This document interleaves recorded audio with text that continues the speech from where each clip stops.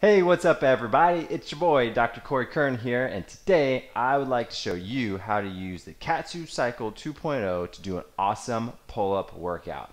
Check this out.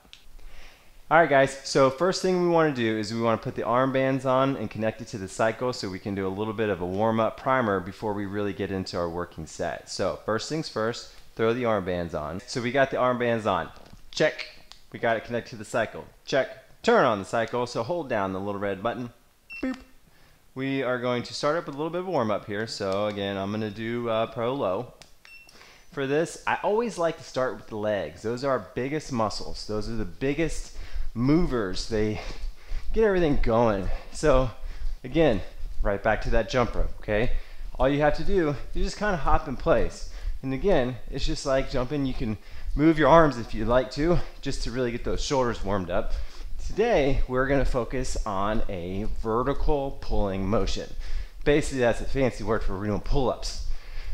Now, a lot of people can't do pull-ups, and that's okay. Pull-ups are a very important movement, important exercise.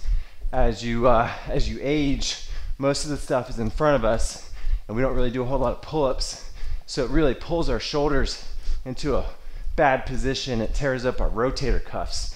So you really want to balance everything out with some sort of vertical pulling motion. You really want to get your lats and all those muscles in your armpit nice and strong. So do pull-ups. If you can't do pull-ups, I'll show you a good exercise you can do in place of a pull-up. Pop, pop, pop, pop. Doing two cycles of jump roping. So just kind of play around with it. Nice and light. Gradually work a little more. Don't be afraid to really move your feet around too. You're really wanting to get different angles on your feet. Well, we are in a cycle three. Cycle number three. So again, going to the pulling motion, legs, I would say, you know, the second most important muscle group would be your back. I mean, you know, you could argue abs and everything really, but we're gonna do about 15 nice, easy, smooth rows.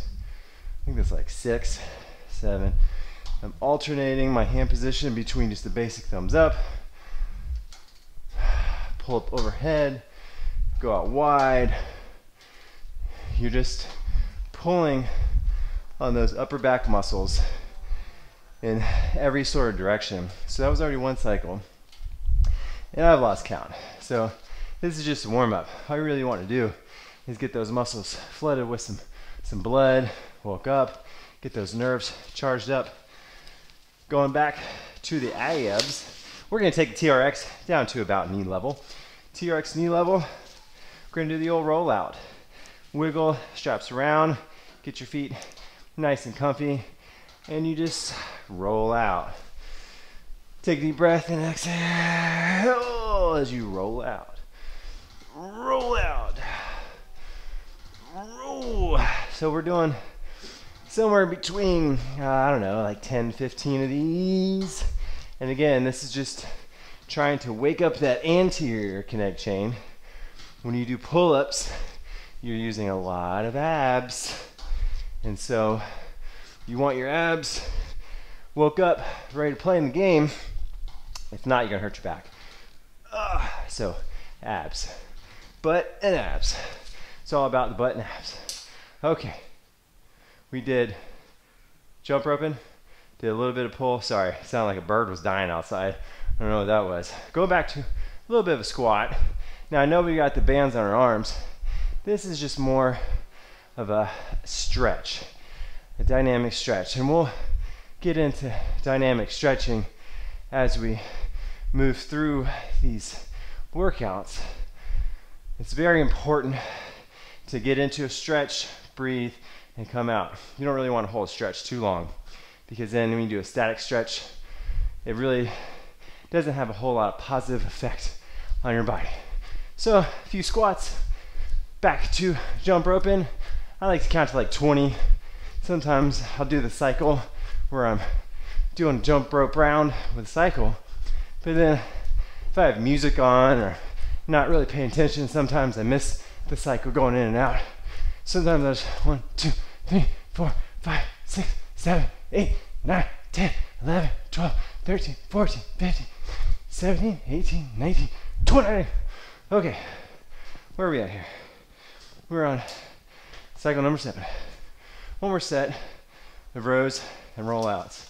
Now, for those of you who have the setup for this, this is a cool variation that you can do. And again, sometimes I just get bored and I play around. Main thing is don't hurt yourself. All right, so you're gonna do a row and roll out. We're gonna take the band about waist level. So you're gonna row, row, and then roll. I don't know if y'all see me.